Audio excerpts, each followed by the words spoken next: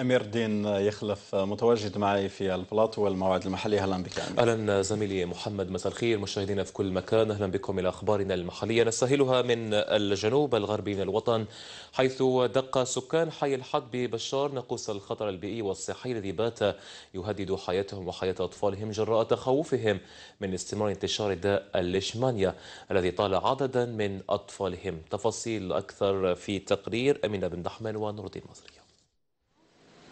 بحي الحدب أحد أحياء منطقة الدبدبة بولاية بشار. دق السكان ناقوس الخطر البيئي والصحي الذي بات يهدد حياتهم وحياة أطفالهم.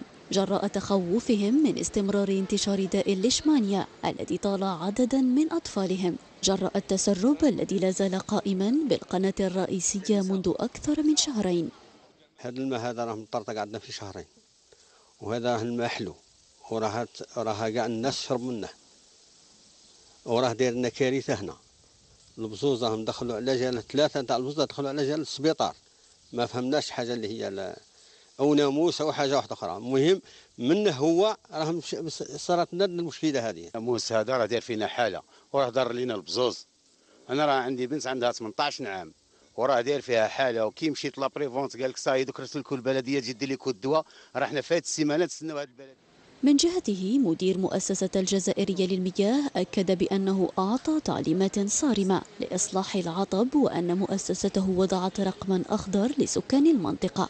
راني كلفت رئيس المركز وين راح حول فرقة والتي هي في عين المكان وسوف تنتهي واسمها أشغال التصليح خلال هذا اليوم. رايحين نديروا الشبكة الجديدة حيز التنفيذ والتي من خلالها نقضي نهائيا واسمها على التسربات رانا في مرحلة تاع تجربه واسمها هذه آه، الشبكة ورفع جميع واسمها النقائص. وضعية مزرية جعلت الكثير من سكان الحي يتساءلون عن غياب المصالح المكلفة بالمتابعة التقنية لتلك المشاريع التي باتت تفتقر للمقاييس المدونة في دفاتر الشروط. في نفس السياق يزاول تلاميذ ابتدائية أحمد سيساوي بقسنطينة في حالة كارثية بعد الإهمال والتسيب الذي طالها وهم أثر سلبا على محصولهم الدراسي. تقرير عبد الجليل حنديس ووردة أقشيشة. ما تشاهدونه ليس بمفرغة عمومية بل هي المدرسة الابتدائية أحمد سيساوي بقسنطينة التي تعد الوحيدة بالمنطقة.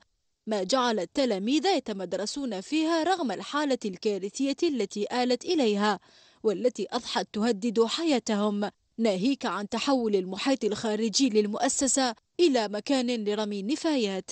الكلاب هنا يجريسيو مع العشية ويوليو يجريسيو العساس ما كانش عساس في ال week-end. العساس ما كانش في ال week-end العساس ما كانش. العشية وعلى الوحدة كي يخرجوا تاع الوحدة ونص كذا كنا اساسه ما كانش ثاني. كيف كيف؟ هي بوندوني يدخل. كيما تحب يخرج كيما تحب. لا حياة لمن تنادي. المدرسة مهمشه مدرسة حداها المزبلة حاشا السامعين. مدرسة الساحة مكسرة. مدرسة الكروات مكسرين.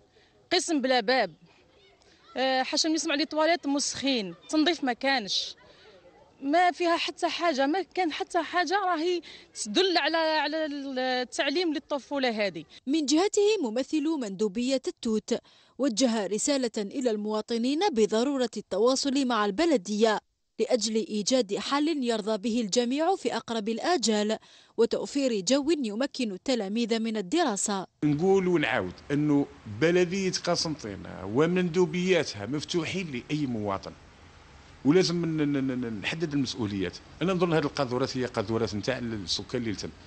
مع ذلك البلديه راه يتجمع فيهم ما نطلبوش منهم حاجة كبيرة نطلبوا منهم أنهم يساعدونا. مدرسة أحمد سيساوي نموذج عن الحالة الكارثية التي يتمدرس فيها أبناء مدينة الجسور المعلقة والتي كان من المنتظر أن ينظر في حالتها قبل الدخول الاجتماعي. نختم أخبارنا المحلية من ولاية تشلف حيث اكتسبت المنابع المائية الواقعة بأعالي جبال بقعة البساكرة الواقعة بين بلديتي الكريمية وبلدية بني بعتاب. الكثير من الشهرة لكونها تتمتع بقدرة كبيرة على شفاء العديد من الأمراض الجلدية. رشيد مشورب وحميد عوادي في هذا التقرير. هنا وبين أعالي جبال بقعة البساكرة الواقعة بين بلديتي الكريمية وبلدية بني بوعتة بولاية تشلف يتواجد هذا المنبع المائي. منبع جرب في كثير من المرات وأثبت قدرته على شفاء الأمراض الجلدية. يداوي الكلاوي والحبرقيك الكلاوي ثنا السيوة قال لك سنة أرواحنا. شربوه قال لك سنة أرواحنا قال لك ماناش نضروا والحبرقيك ثان قال لك سنة أرواحنا كان اللي يدوج بيه صاب روحه كان اللي دا وكان اللي دوش هنا واحد جا من الجزائر جا دا الماء ومن بعد دوش وصاب روحه ورجع. قال لي والله لست روحي. وحده تا قال لي والله لا بريد فحين نزولنا إلى العين المتواجد في أسفل إحدى الأودية وجدناها في أحسن حال من حيث الترميم ولكن على شكل عين من عيون المناطق النائية لا غير حيث أن ماءها يصب من أنبوب بلاستيكي ولا شيء يوحي بأن ماء هذا العين هو ماء شافي. من بكري لهنايا ومليح مليح للحب مليح للكلاوي.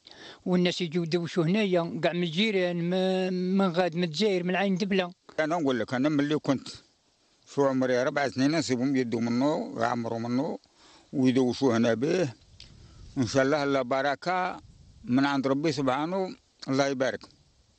جميع من دوش به شفاه ربي. إحنا الحب رقيق هذا ما نروحوش للطبيب. نروحوا غير هذا المياه اللي خلقها الله تعالى سبحانه ندوشوا بها نصبحوا معافيين ماء هذا المنبع يمكن استعماله في كل الحالات وبكل أنواعها خاصة أن صيته فاق حدود الولاية فيجلب الزائرين من مختلف الولايات. أخبار محلية أخرى.